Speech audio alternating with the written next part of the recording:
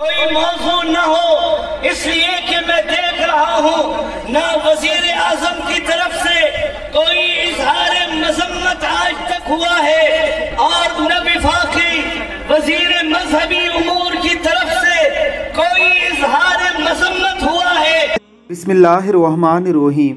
हालिया रोज़ में एक आलम रब्बानी को कराची में गोलियाँ मारकर शहीद कर दिया गया। आलम रब्बानी सहाबा कराम रिजवानम अजमाइन की ज़वात मुकदसात पर पहरा देने के लिए रवाफ़ के मुकाबले आए थे। हालिया दिनों में रवाफ़ की तरफ़ से सहाबा कराम की गुस्ताखी होने पर जब अहल सुन्नत सरापाए एहतजाज हुए पाकिस्तान में बड़े बड़े मार्च निकाले गए कराची में एक सबसे बड़ा सहाबा मार्च निकाला गया।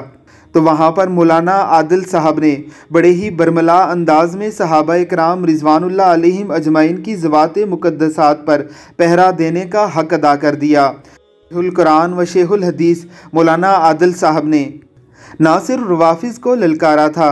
बल्कि हुकूमत वक्त के साथ साथ मुख्तर इदारों को भी वार्न किया था कि सहाबा कराम रिजवानम अजमाइन की इतनी बड़ी गुस्ताखियाँ हो रही हैं और आप चुप साध कर बैठे हुए हैं। कहीं आप भी चोरों के साथ तो मिल नहीं चुके। हम सहाबा कराम रिजवानम अजमाइन की गुस्ताही को बर्दाश्त नहीं करेंगे। शायद यही जुर्म था जिसकी पादाश में मौलाना आदल साहब से उनकी ज़िंदगी ही छीन ली गई। सहाबा कराम रिजवानम अजमाइन की जूतियों पर तमाम की तमाम उम्मत कुर्बान, उम्मतों की उम्मतें कुर्बान। हमारी जान, माल, औलाद, हमारा सब कुछ कुर्बान। सहाबा कराम रिजवानम अजमाइन के पहरेदारों को अगर तुम कत्ल करोगे तो हमारा खून भी पुकारेगा कि सहाबा का जो ग़ुलाम है, हमारा वो इमाम है।